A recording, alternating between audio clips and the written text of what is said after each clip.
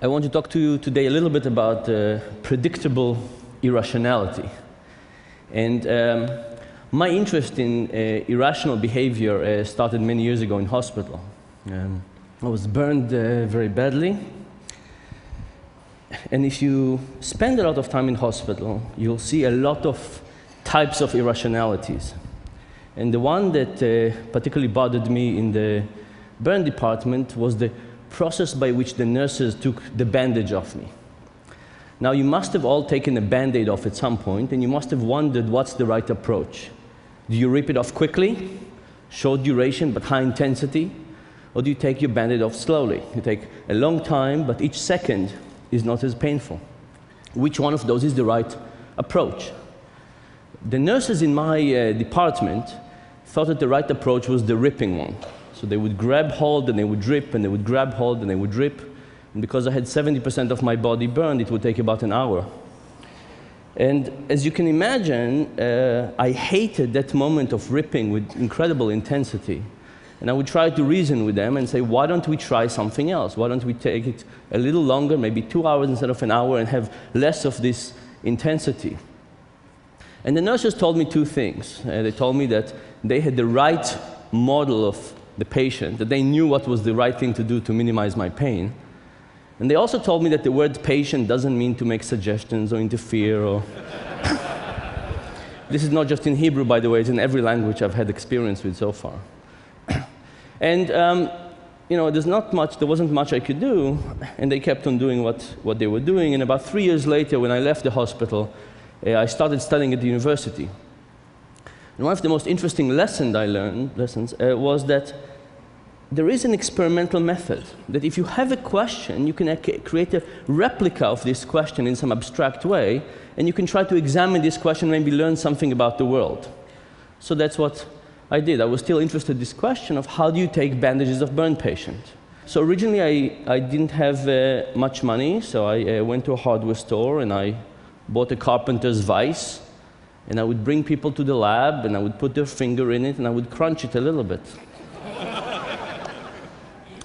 and I would crunch it for long periods and short periods, and pain it went up and pain it went down, and with breaks and without breaks, all kinds of versions of pain. And when I finished hurting people a little bit, I would ask them, so how painful was this? Or how painful was this? Or if you had to choose between the last two, which one would you choose? I kept on doing this for a while. and then, like all good academic projects, I got more funding. I moved to sounds, electrical shocks. I even had a pain suit that I could get people to feel much more pain. But at the end of this process, what I learned was that the nurses were wrong. Here were wonderful people with good intentions and plenty of experience, and nevertheless, they were getting things wrong predictably all the time. It turns out that because we don't encode duration in the way that we encode intensity, I would have had less pain if the duration would have been longer and the intensity was lower. It turns out it would have been better to start with my face, which was much more painful, and move toward my legs, giving me a trend of improvement over time that would have been also less painful. And it also turns out it would have been good to give me breaks in the middle to kind of recuperate from the pain. All of these would have been great things to do, and my nurses had no idea. And from that point on, I started thinking, are the nurses the only people in the world who get things wrong in this particular decision, or is it a more general case. And it turns out it's a more general case. There's a lot of mistakes we do. And um, I want to give you one example of one of these irrationalities, and um, I want to talk to you about cheating. And the reason I picked cheating is because it's interesting, but also it tells us something, I think, about the stock market situation we're in.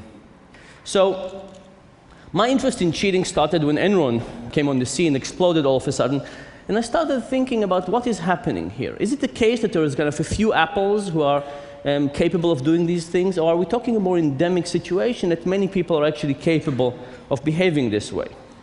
So, like we usually do, I decided to do a simple experiment. And here's how it went. If you were in the experiment, I would pass you a sheet of paper with 20 simple math problems that everybody could solve, but I wouldn't give you enough time. When the five minutes were over, I would say, pass me the sheets of paper and I'll pay you a dollar per question. People did this, I would pay people $4 for their task. On average, people would solve four problems.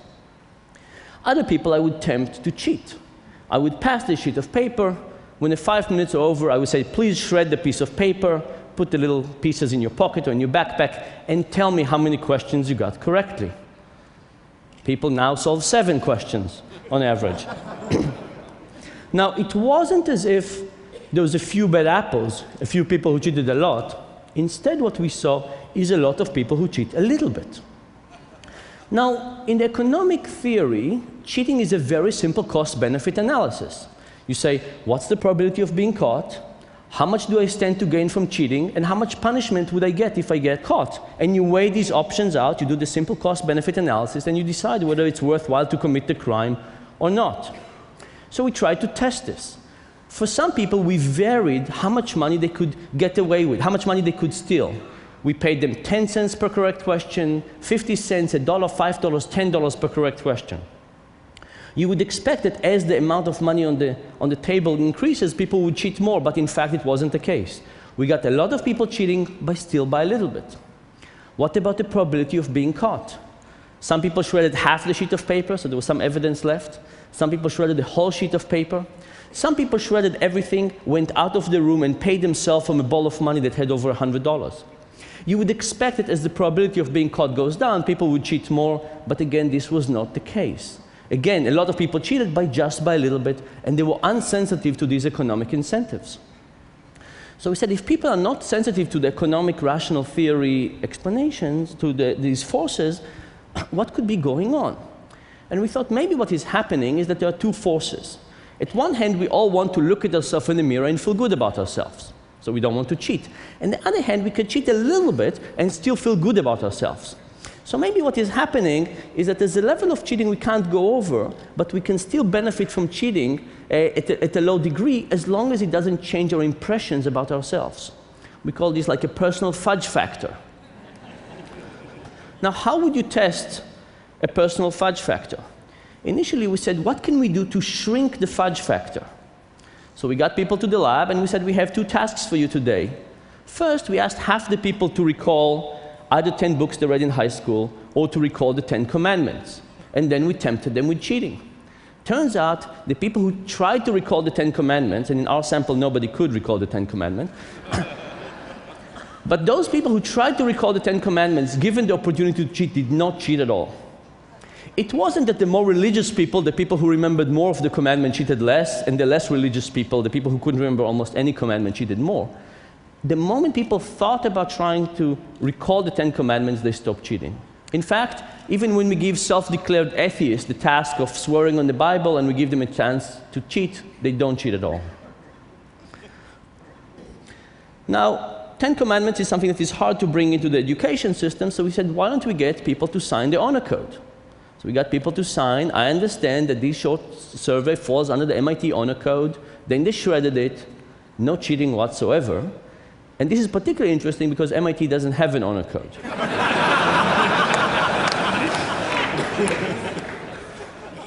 so all this was about decreasing the fudge factor.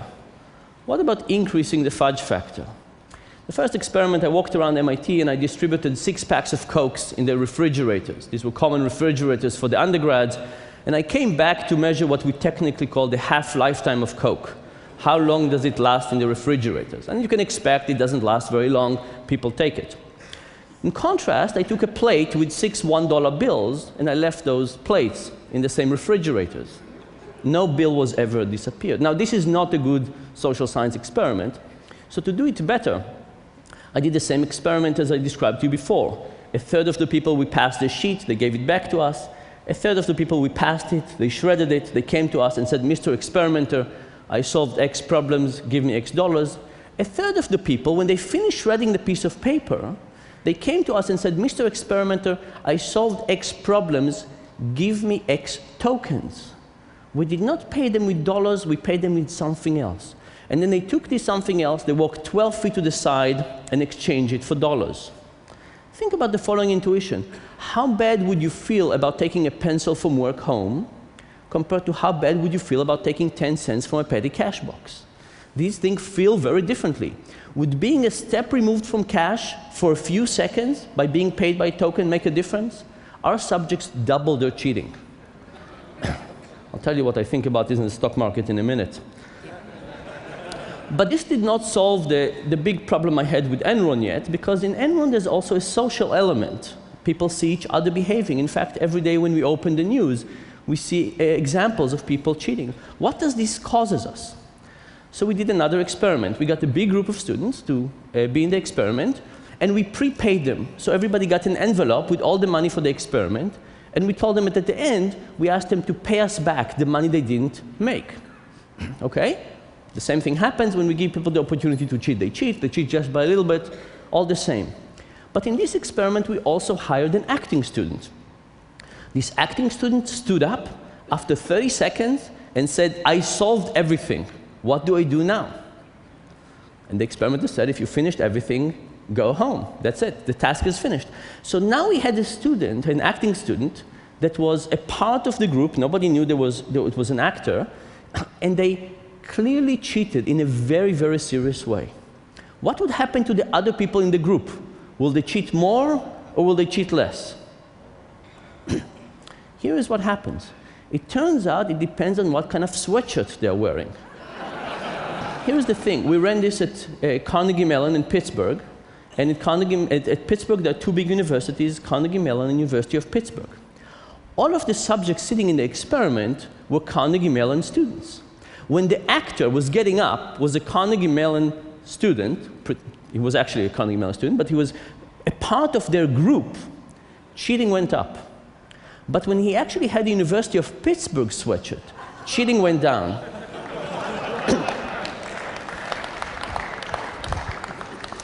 now, this is important because remember, when the moment the student stood up, it made it clear to everybody that they could get away with cheating because the experimenter said you finished everything, go home, and they worked with the money. So it wasn't so much about the probability of being caught again, it was about the norms for cheating. If somebody from our in-group cheats and we see them cheating, we feel it's more appropriate as a group to behave this way. But if it's somebody from another group, these terrible people, I mean, not terrible in, the, in the, this, but somebody we don't want to associate ourselves with, from another university, another group, all of a sudden people awareness of honesty goes up a little bit like the Ten Commandment experiment, and people cheat even, even less. so what, what have we learned from this about cheating? We've learned that a lot of people can cheat. They cheat just by a little bit. When we remind people about their morality, they cheat less. When we get bigger distance from cheating, from the object of, of money, for example, people cheat more. And when we see things of cheating around us, particularly if it's a part of our in-group, cheating goes up. Now, if we think about this in terms of the stock market, think about what happens. What happens in a situation when you create something where you pay people a lot of money to see reality in a slightly distorted way? Would they not be able to see it this way? Of course they would. What happens when you do other things, like you remove things for money? You call them stock or stock option, derivatives, mortgage-backed securities. Could it be that with those more distant things, it's not a token for one second, it's something that is many steps removed from money for much longer time. Could it be that people would cheat even more? And what happened to the social environment when people see other people behave around them? I think all of those forces worked in a very bad way uh, in the stock market. More generally, I want to tell you something about behavioral economics, we have many intuitions in our life. And the point is that many of these intuitions are wrong. The question is, are we going to test those intuitions?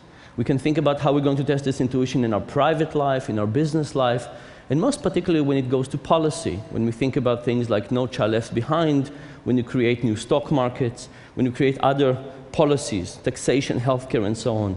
And the difficulty of testing our intuition was, was the big lesson I, I learned when I went back to the nurses to talk to them. So I went back to talk to them and tell them what I found out about removing bandages.